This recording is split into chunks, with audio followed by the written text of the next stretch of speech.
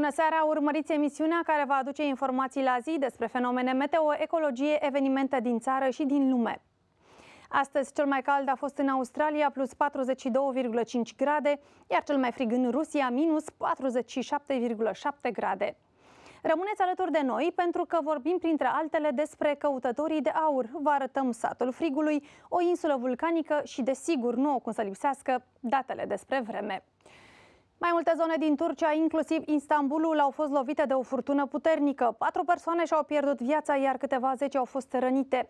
Rafalele au smuls acoperișuri, au dobărât copaci și au avariat mașini. Bosforul a fost închis traficului maritim, iar serviciile de feribot au fost anulate. De asemenea, câteva zboruri ale companiei turcești programate să aterizeze la Istanbul au fost redirecționate către alte orașe.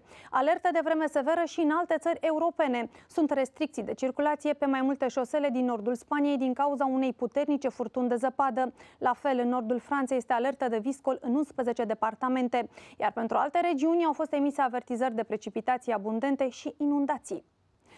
Un fotograf rus a organizat o expoziție de artă mai puțin obișnuită. Este vorba de una subacvatică intitulată Până când gheața se topește. Nonconformistul artist a vrut să șocheze, dar în special să reamintească oamenilor într-un mod inedit impactul schimbărilor climatice și mai ales al încălzirii globale. El și-a expus lucrările sub uh, gheața Mării Albe din nord-vestul Rusiei.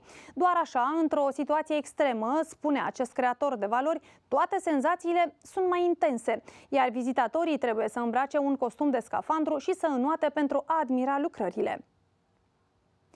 Tinerețea și o fizionomie atrăgătoare nu mai sunt condiții obligatorii pentru femeile care aspiră la titlul de nimfe, adică acele splendide zeițe ale apelor și pădurilor din mitologia greacă. Asta cred niște doamne zdravene și curajoase dintr-o localitate situată în nord-estul Islandei, țară insulară aflată între Atlanticul de Nord și Oceanul Arctic. Acolo se spune că cea mai ă, importantă calitate a unei înotătoare este rezistența la temperaturi scăzute din apele Oceanului Arctic.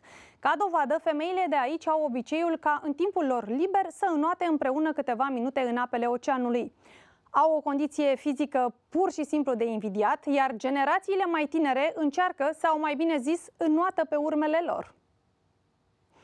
În continuare vedem cum va fi vremea în țara noastră.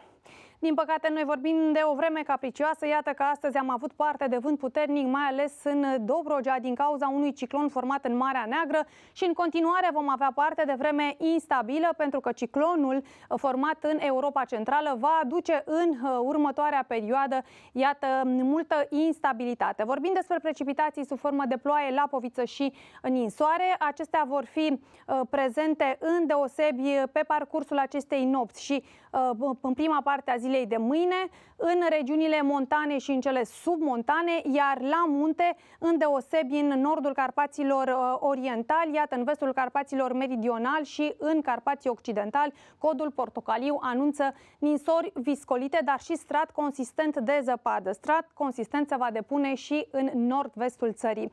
Dar haideți să vedem în detaliu câteva temperaturi și fenomene de mâine din marile orașe ale țării noastre. Iată că mâine dimineață vom avea minus 3 grade în Brașov, iar la amiază temperatura temperaturile vor tinde spre 10-11 grade în Craiova. Cu detalii revin în principala rubrică Meteo.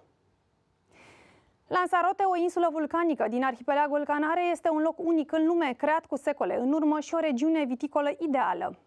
Pe pantele unor vulcani deocamdată inactivi, după ultimele erupții din secolul XVIII, în cenușa solidificată, viticultorii locale au săpat gropi cu diametrul de peste un metru și au plantat vițe de vie. Rezultatul a fost uimitor. În ciuda condițiilor aparent vitrege, plantelor le-a mers foarte bine, iar vinul obținut din această stranie podgorie este vândut pe piața locală sau este exportat în Europa și în Statele Unite. Localnicii au descoperit că noul strat de sol vulcanic bogat în nutrienți este ideal pentru amenajarea unor plantații cu viță de vie. Cenușa acționează ca un fel de izolator, menținând constantă temperatura solului. Considerat un pământ inospitalier cu sute de ani în urmă, nimeni nu și-ar fi putut imagina atunci că acest lucru va da loc unui mediu viticol unic, în care cenușa vulcanică este rețeta succesului pentru podgorii bogate și vinuri de calitate. Goana după aur nu se oprește niciodată și asemenea celei din antichitate sau din America anilor 1800. Pentru mulți este încă o pasiune, dar și o sursă de venit.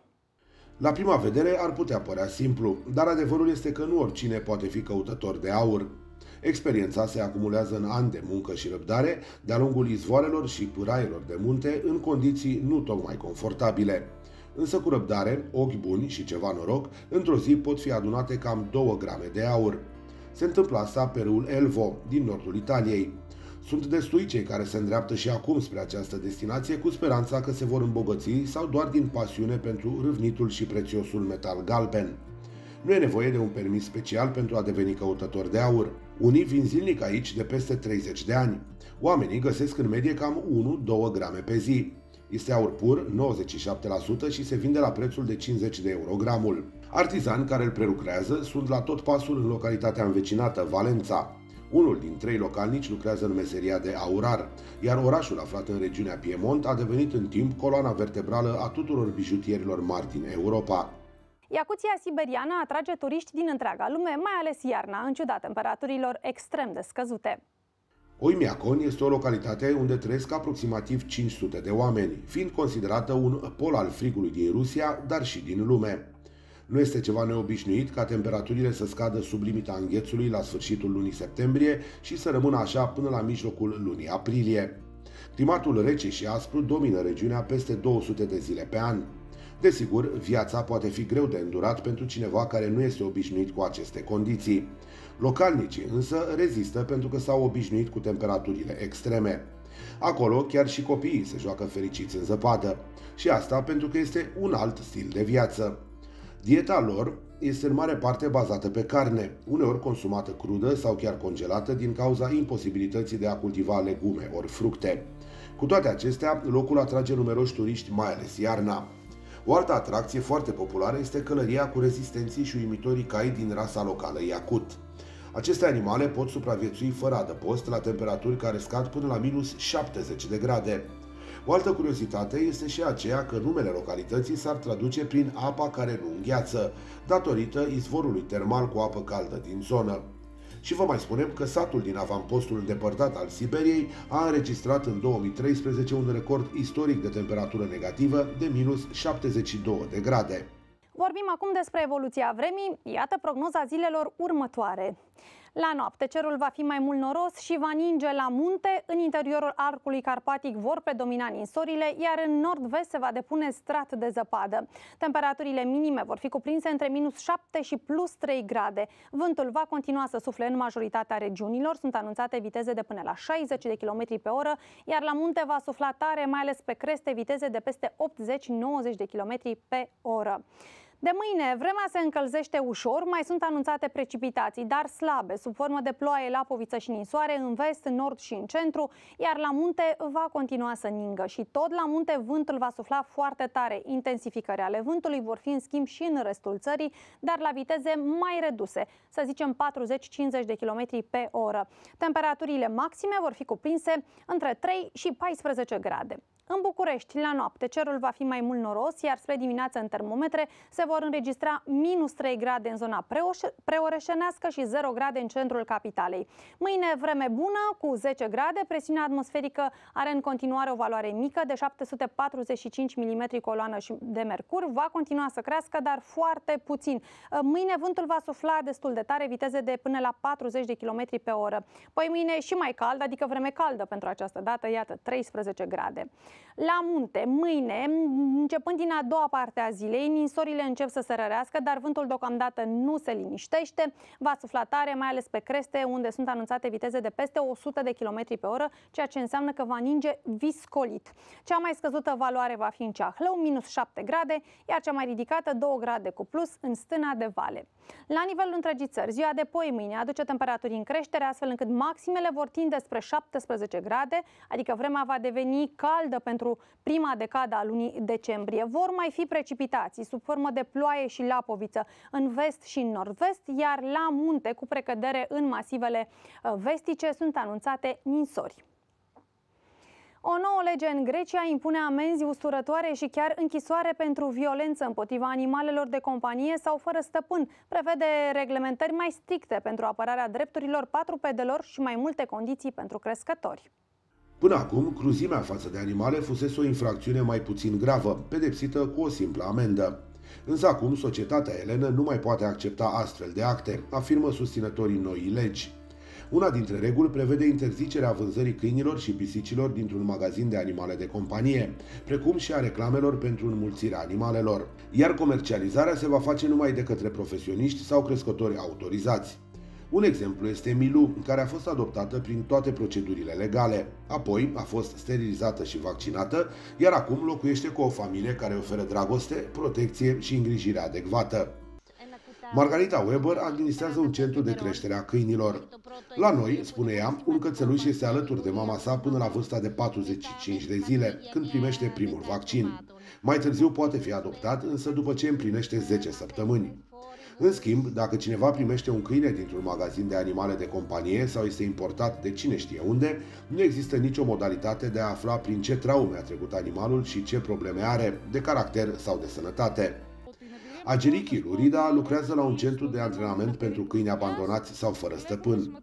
Ea consideră că o lună este suficientă de cele mai multe ori pentru a rezolva cele mai dificile probleme legate de fobii și nesiguranță. Însă, în alte cazuri, poate dura mai mult până la ameliorarea stării generale a patrupedelor iar scopul noului proiect de lege vizează în special îmbunătățirea condițiilor de viață ale animalelor de companie și ale celor fără stăpân care, cu ajutorul asociațiilor de caritate, vor găsi o locuință permanentă. Stăm de vorbă în minutele următoare cu doamna Cătălina Trănescu, purtător de cuvânt ASPA, să vorbim acum și despre pisici, pentru că în toate edițiile trecute am vorbit despre câini. Ehm, ce se întâmplă? Pentru că foarte multe pisici în zilele noastre nu au stăpâni, ele se înmulțesc foarte repede. Cum se pot adopta? Într-adevăr, nu există legislație națională pentru gestionarea pisicilor, așa cum există în cazul uh, cățeilor. Însă, uh, ce am făcut uh, noi, am propus ca în uh, hotărârea de Consiliu pentru uh, campania de sterilizări să fie incluse și pisicile fără deținător, în așa fel încât uh, să putem controla înmulțirea acestora pe domeniul public. Astfel încât orice cetățean al municipiului București, dacă iubește pisicile și are pisici pe lângă bloc, poate să le ia, să sune la noi și să le programeze pentru sterilizare. Dacă vorbim despre adopție, există adăposturi private sau ONG-uri care se ocupă de uh, pisicuțe, le iau de pe stradă, au grijă de ele, le sterilizează, le vaccinează și ulterior le promovează pentru adopție. Nu avem pisici în platou pentru că nu știu ce ar fi ieșit, dar să știți că avem și noi pisicile noastre ale instituției.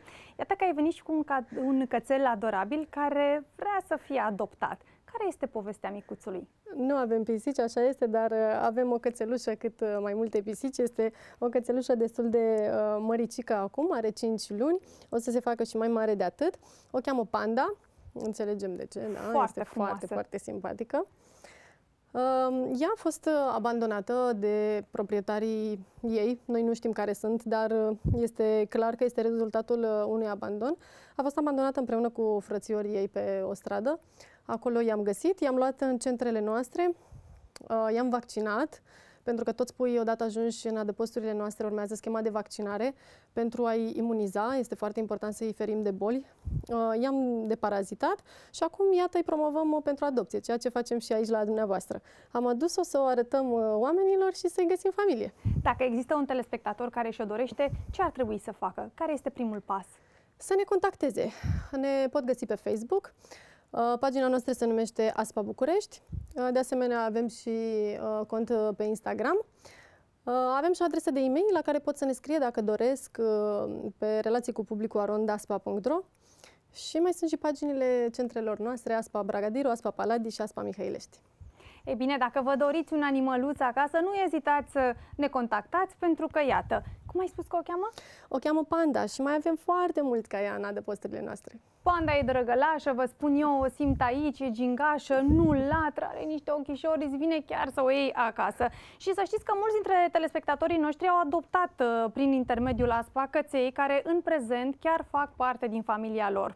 Așa că te invit și pe tine, cât și pe toți cei care ne privesc și care ne cunosc povestea, să adoptăm un astfel de animăluț. Cătălina, îți mulțumesc mult pentru prezența în emisiune și să știi că după această ediție mă simt un om uh, mai, mai bun, mai împăcat sufletește. Are o privire de m-a topit, atât pot să vă spun. Și noi mulțumim uh, pentru invitație și vă felicităm pentru interesul pe care îl acordați animalelor. În continuare, vedem cum se anunță vremea mâine în Europa. Iată că în cea mai mare parte a peninsulei iberice, atmosfera va fi mohorâtă, iar la amiază meteorologii anunță temperaturi de până la 17 grade în Lisabona. În țările vestice apar precipitații sub formă de ploaie și lapoviță, în timp ce în arhipelagul britanic iese soarele, iar în Londra vor fi 9 grade.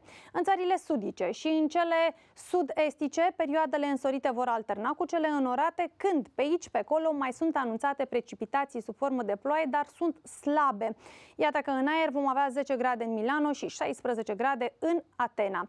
În țările centrale, în cele nordice și în cele de răsărit, vremea își păstrează aspectul mohorât, vor fi precipitații sub formă de ploaie și lapoviță în țările centrale, iar în țările de răsărit mai ales sub formă de ninsoare. Mâine în Moscova, minus 4 grade. Iată și alte valori din termometre în câteva metropole ale lumii.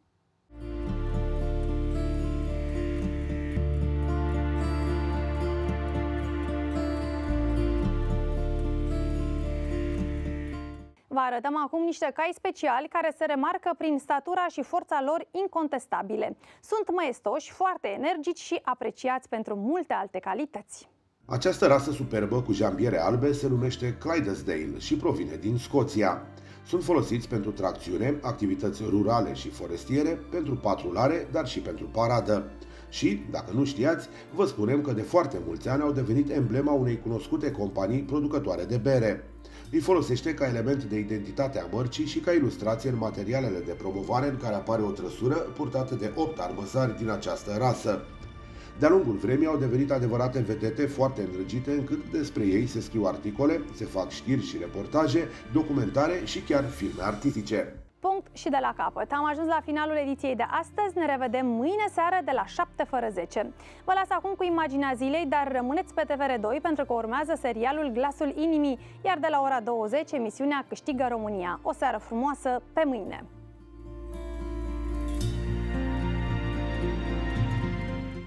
Astăzi, la Câștigă România. Sper că ați început petrecerea și ne vedeți în ceață la această oră. Noi încă n-am început-o. Stai mă puțin, stai mă, stăm, stăm de vorbă puțin. Dane, ia zi. Eu sunt Virgilianțu de la Câștigă România, că nu știu dacă m-am prezentat.